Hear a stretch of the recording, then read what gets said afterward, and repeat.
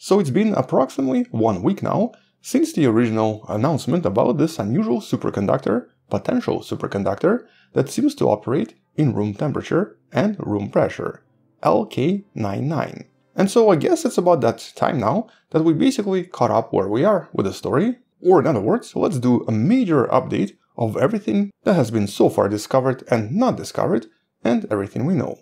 But just to give you a brief summary, nobody still knows if it works, but there's been a huge amount of discussion online. And so in this video, I actually wanted to talk a little bit more about the theory and how the scientists believe it might work, if it does work that is, talk about all of the experiments so far that seem to have been positive, also talk about experiments that have been negative, briefly discuss the controversy, but also briefly talk about the potential practical applications, which by the way might be the biggest disappointment. But honestly, in the last few years of making videos pretty much daily, I have never seen so much excitement and so much overwhelming interest in any kind of a scientific field until now. Basically, everyone seems to be asking questions about it, everyone wants to know what exactly superconductors are, and more importantly, a lot of students and a lot of younger children are absolutely fascinated with this topic as well.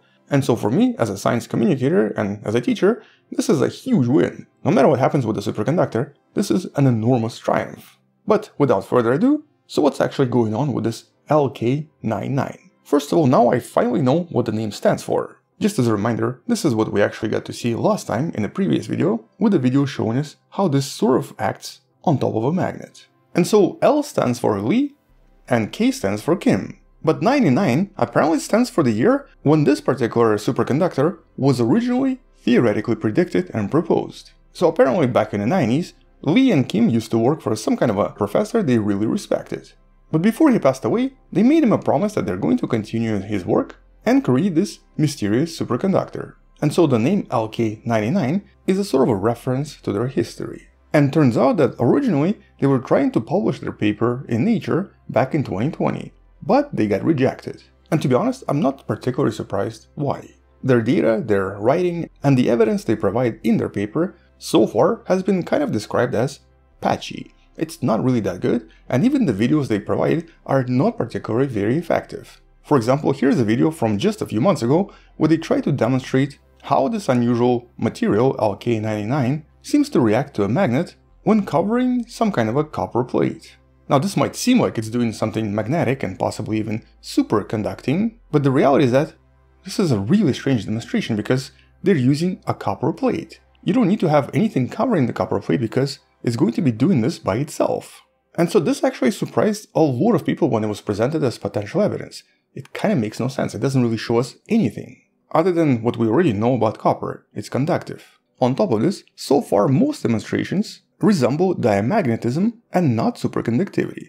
Diamagnetism is a very common property in pretty much most materials. And in case of diamagnetism, it's essentially a repulsive magnetic force that always appears in extremely powerful magnetic fields if the atoms inside those materials contain paired electrons. Now, this might sound complicated, but in a nutshell, water is one such element. And one of the most famous examples of diamagnetism in action was the frog levitation, and by the way, frog is obviously mostly water, when the frog was placed in extremely powerful magnetic fields of approximately 16 Tesla. This was actually done over two decades ago, and the frog, by the way, was totally fine. And so many materials acquire this repulsion, diamagnetic repulsion, when placed in powerful magnetic fields. And in this case, it does resemble a similar effect. So for example, you can see that this particular piece seems to be sort of moving around and vibrating. This is most likely diamagnetic in nature.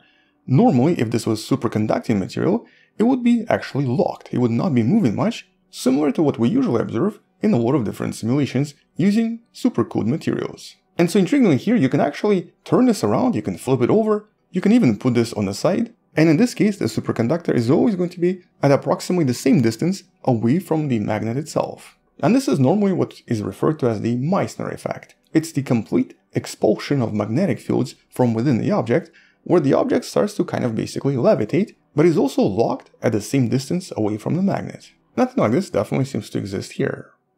But because in this case the paper did provide basic description on how to make this material, quite a lot of teams joined in and tried to discover if it's actually real, and most importantly, if it is a superconductor.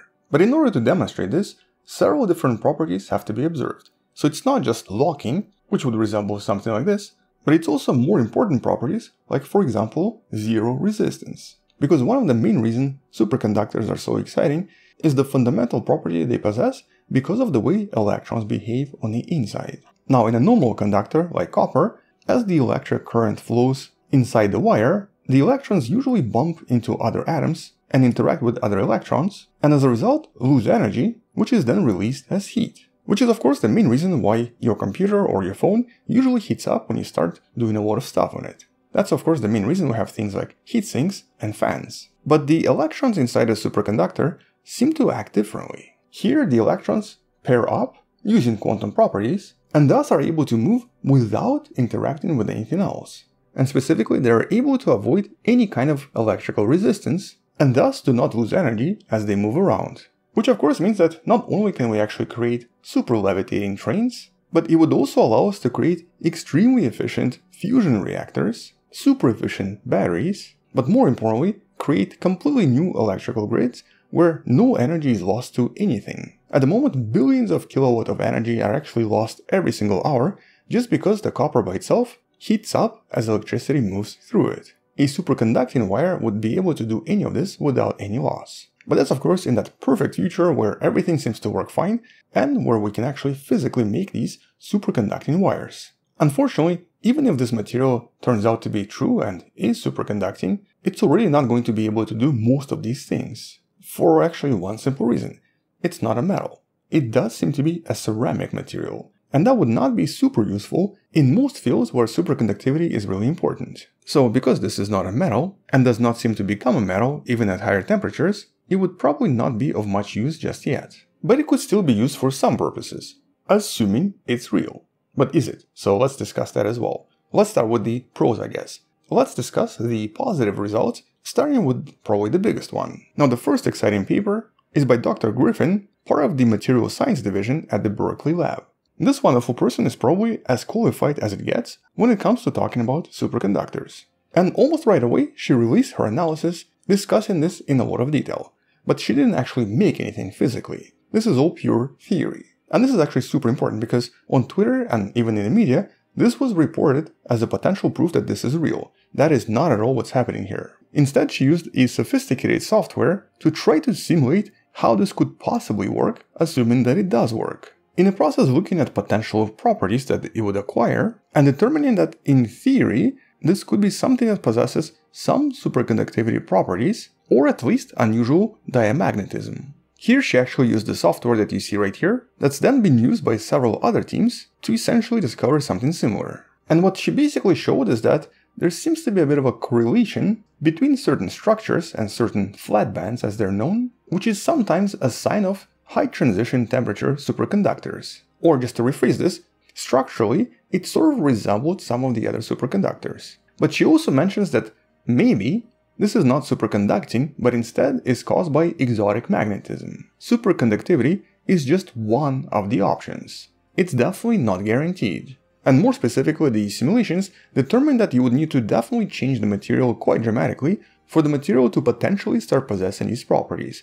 Just sort of making it the way it's made now by cooking it, literally, is very likely not going to do much. Actually, this is a really important side note.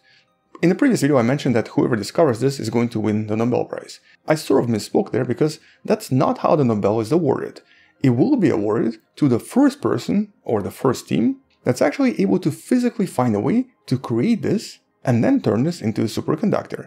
Just discovering the material is not going to be enough. But the conclusion from the study here definitely doesn't make it sound like any kind of a super material or, more specifically, a superconductor. So the theory is maybe possible, but somewhat unlikely. And so that was the first expert discussing this in more detail. But then we had a lot of other experts that actually tried to recreate this, but unfortunately their methods might have not really been very detailed or even very precise. Specifically because it was done way way too quick. Now one of the first videos was from China, and this one went viral in China. It was actually one of the most watched videos for that particular day, and it essentially shows us a tiny tiny speck, which seems to be that material, LK99, that seems to react to a magnet once again. You can sort of see it budge here and there occasionally, but this is just not a very good video to show us anything. But this first demonstration was from Huazhong University of Science and Technology, and we actually haven't heard much about this afterwards. But another Chinese professor, Professor Sun from Southeast University, later made a video that you can find in the description where he talks about measuring the resistance of this material and it seems to have been zero resistance. Basically what you would expect from a superconductor. And so here we have two separate Chinese teams claiming that they have positive results as well. Okay, cool, cool, cool, cool, cool. So does this mean that maybe this is real after all? Well, even on Chinese media, there's been a huge amount of skepticism. So far, most suggestions are that this was done way too quickly, there doesn't seem to be any way to reproduce their results either, and their papers are also very basic. And so far, all of the experts in the field express doubts about all of these claims. For example, in the original study, it doesn't actually show the expected drop-off to zero resistance, and also seems to show quite a lot of noise that would be very atypical for a superconductor. And quite a few additional papers literally find nothing. The first ones came out of India. In this replication attempt, first of all they confirmed the structure using X-rays, but then failed to find anything including diamagnetism or of course levitation. As a matter of fact, nothing seems to happen in their results. Then another study, this time from China and Australia, once again confirmed the structure, but once again discovered nothing as well instead indicating that this is just a typical ceramic with potentially some magnetic effects, but nothing else unusual. And there were absolutely no signs of any superconductivity properties that were originally presented in the first paper. Now here the counter-argument coming from the original scientists was that, well yeah, you guys just didn't make it right, or that this was not a pure substance. But having looked at their techniques and also having looked at how they actually describe the procedures, both the Chinese and Indian researchers did actually do a pretty good job. I mean, the original instructions involved a mortar and a pestle. This is not a very difficult procedure. And even the Korean experts that have recently established a committee to try to investigate this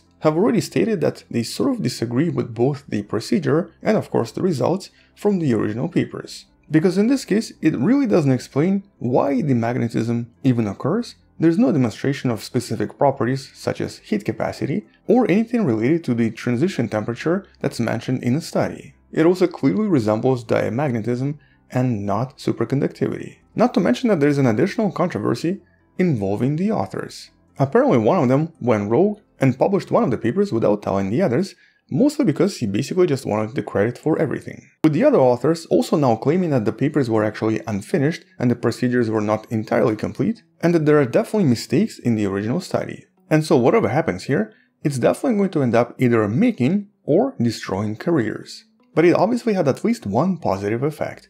It created a major buzz and major excitement about superconductivity as a field, and of course, people started asking questions about science in general. I mean, I can only expect that in a few years from now, we'll have students studying this just because they've heard about this story and they wanted to know more. And there's even a community of people that are actually trying to create this at home, and some of them have even been streaming this on Twitch which at some point was one of the most popular streams on the platform. And so just disregarding this and basically calling this some kind of a fraud would not be fair at all. It definitely started something extraordinary.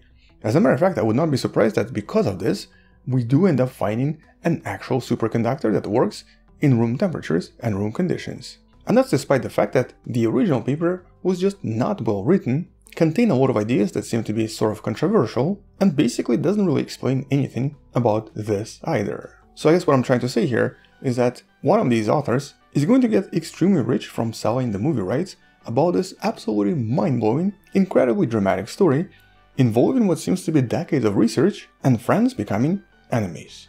And yeah, that's a movie I would definitely watch. I wouldn't be surprised if it's on Netflix in approximately 5 years. Anyway, so at least for now, after one week, those are the main updates. At the moment, it still looks like this is most likely not what it was assumed to be, but it's definitely something super super exciting just because of the buzz it generated. But unfortunately, until major labs from around the world start releasing their results, including their conclusions, we're not going to know much more. Right now, there are at least 7 different labs working on this, and so chances are we're going to hear more in the next week or so. So with future updates, we'll come back and talk more about this in a video, maybe next week, maybe in 2 weeks. Thank you for watching, subscribe, share this with someone who has learned about space and sciences, check out the previous video with even more information you might have not known, and maybe come back tomorrow to learn something else. Support this channel on Patreon by joining channel membership or by buying the Wonderful Person t-shirt you can find in the description. Stay wonderful, I'll see you tomorrow, and as always, bye bye.